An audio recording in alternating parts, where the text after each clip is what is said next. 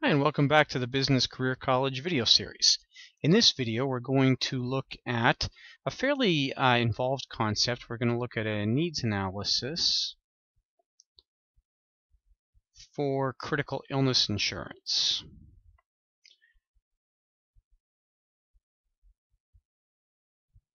Now, this is the fifth video in our series covering needs analysis in general. And you may recall, if you watched the four videos covering the life insurance needs analysis, that the sort of antiquated approach to a needs analysis has been to do an income-based approach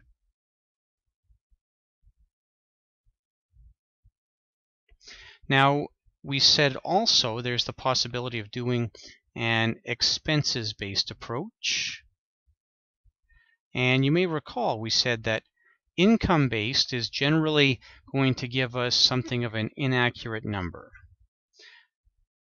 And now this is actually a fairly common way nonetheless to sell critical illness insurance. I see this done an awful lot where you say something like, oh, the typical person gets one times annual salary or one times annual income or maybe two times annual income or two times salary.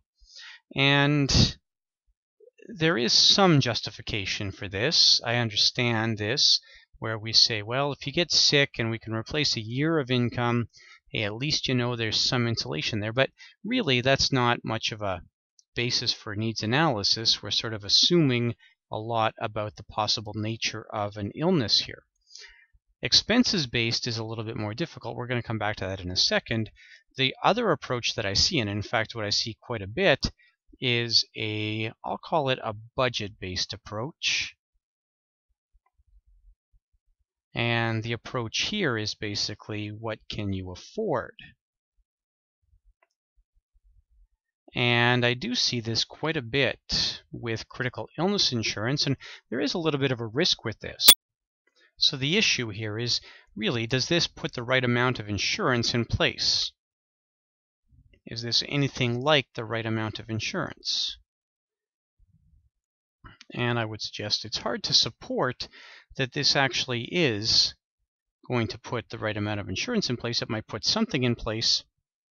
It might be too much, which means you don't have dollars available anywhere else, or it might not be enough, and if something actually goes wrong, we might be in a tough spot then. And actually, we did have in 2010 the Insurance Council of British Columbia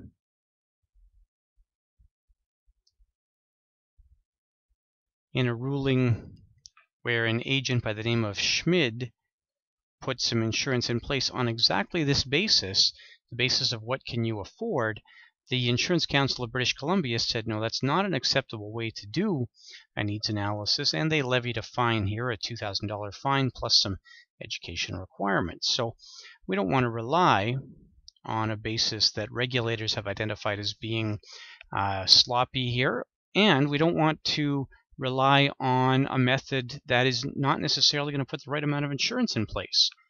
So what do we do then?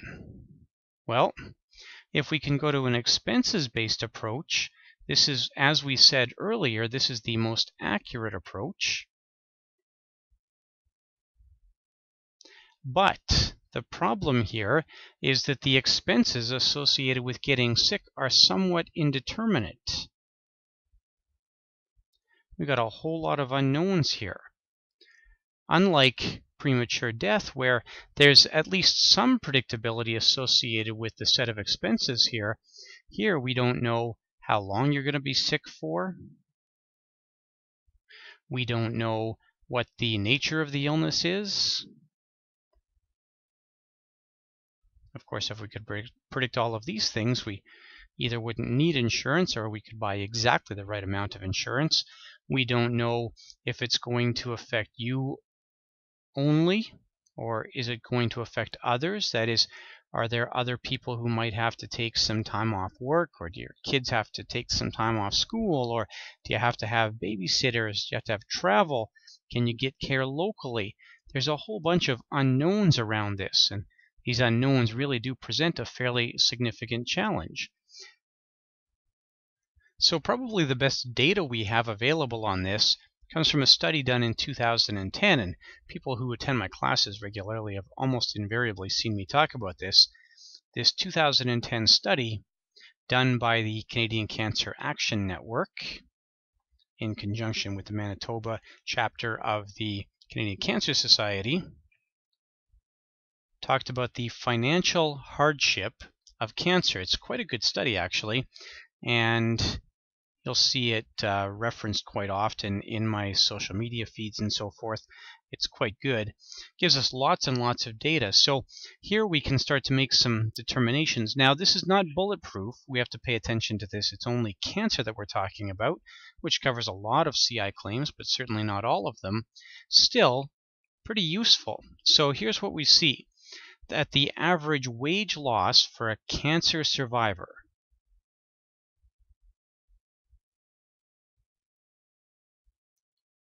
for the survivor is just over 17 or just under $18,000, $17,729 for the survivor. So that can give us a starting point anyways, a discussion we can have with our client. What does this look like? Now, we can't only think about the survivor because what we also see here is that about a quarter of the time, so about a quarter of workable hours are lost for caregivers as well. So your spouse or whoever ends up taking care of you, your caregiver is going to lose about 23% of their workable hours. So that person's ability to earn an income is also affected by this.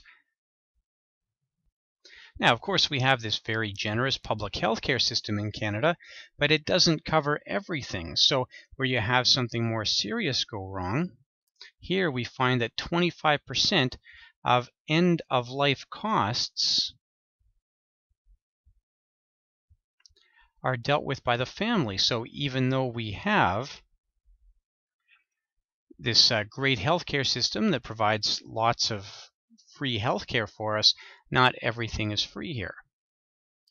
What we did find as well, and we often do refer to CI as a sort of asset protection vehicle, that 41% of family caregivers dipped into savings.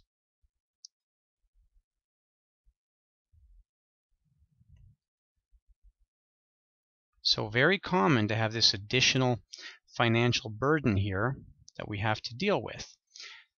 So we have lots and lots of different costs here. You may have drug costs, you may not.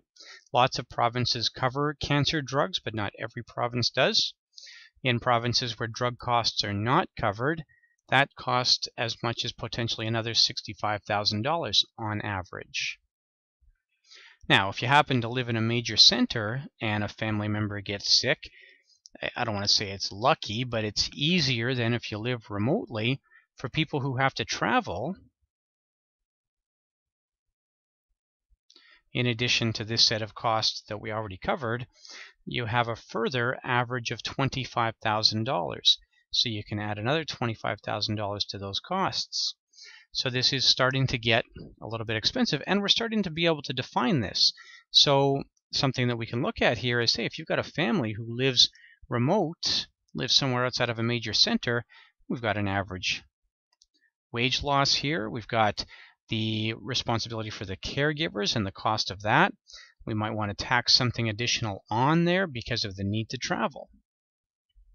Now, I'll grant that this doesn't give us a perfect expenses-based approach, but what it certainly does do, it helps us to better define that set of expenses. So at least now we can sit down with the client. We can say, hey, client, instead of just shooting in the dark here and saying, ah, you know, one time salary, two times salary, which may still end up being part of the discussion because we see down here that we do have to take into account your wage loss. And if the average income earner makes around $50,000, we can see about a third of that disappears. We can see that your spouse or other caregiver is going to have some financial burden here. We can start to work these numbers in and we can take into account more than just this sort of guessing game around one time salary, two times salary, or probably even worse is what can you afford? This is certainly not the ideal approach either. So I hope this is helpful. I hope this gives you some tools at least to think about what a critical illness insurance needs analysis can look like and how much more we can have a valuable discussion with our client that goes beyond just ah, what can you afford or this one or two times salary. When we start to bring this kind of information to people, at least in my opinion, it gives them more satisfaction that we've actually thought about what we're doing here. We're actually investigating to some extent what this life insurance, or sorry, what this critical illness insurance needs analysis looks like. Thank you very kindly, and I hope you enjoy your continued studies.